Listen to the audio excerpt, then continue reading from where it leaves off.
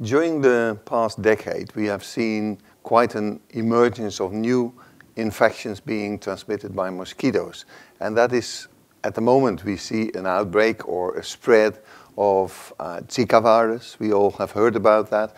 But the, the mosquito that transmits Zika virus actually also transmits chikungunya virus and dengue virus. So there is three viruses that are being transmitted by a mosquito now in South America, Central America, but also we know that this particular mosquito also happens to be present in the Mediterranean basin. So we have already seen that viruses like uh, dengue, but also chikungunya, they do play a role in the Mediterranean basin as well. And I think it's fair to say that in the coming years, we might see some activity of Zika virus in the Mediterranean, although it most probably will not be as explosive as we have seen it happening at this time in Central and South America.